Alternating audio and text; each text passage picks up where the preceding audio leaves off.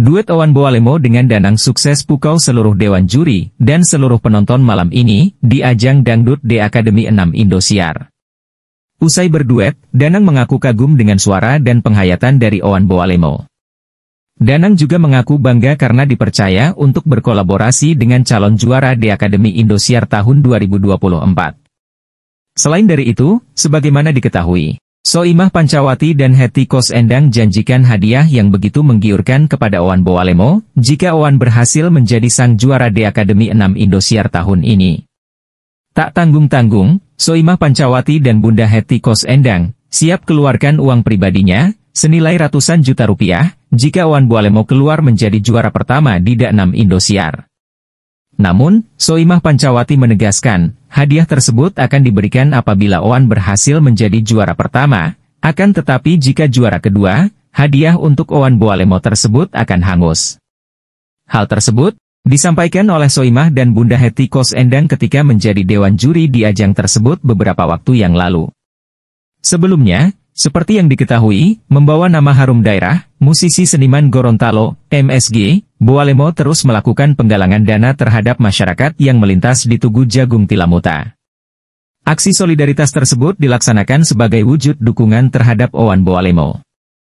Melaju ke top 3 dan 6, Owan Boalemo menjadi perwakilan masyarakat Provinsi Gorontalo, yang pertama kali menembus top 3 dan 6. Selama Dangdut Akademi diselenggarakan oleh stasiun televisi swasta Indosiar. Keberhasilan Owan Boalemo saat ini, di panggung Indosiar tidak lepas dari dukungan seluruh masyarakat Indonesia, Provinsi Gorontalo, khususnya Kabupaten Boalemo yang terus memberikan dukungan melalui SMS dan vote melalui aplikasi video.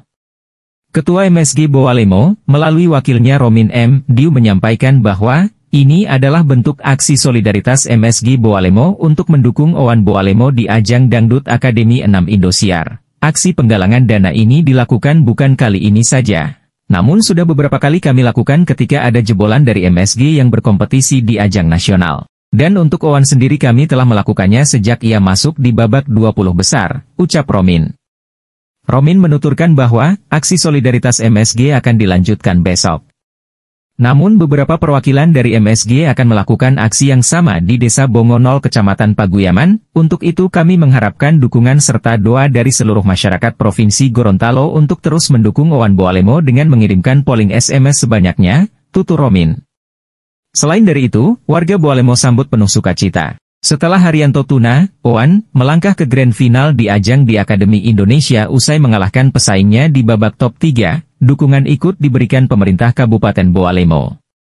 Bahkan penjabuk Boalemo, Serman Moridu, dengan menginstruksikan seluruh camat untuk menggelar nonton bareng, nobar, di setiap kecamatan untuk mendukung Owan di babak grand final. Prestasi ini sangat membanggakan bagi seluruh masyarakat Boalemo. Kami pemerintah daerah akan terus mendukungnya hingga menjadi juara satu nasional, ungkap Serman Moridu. Dukungan juga datang dari keluarga Owan.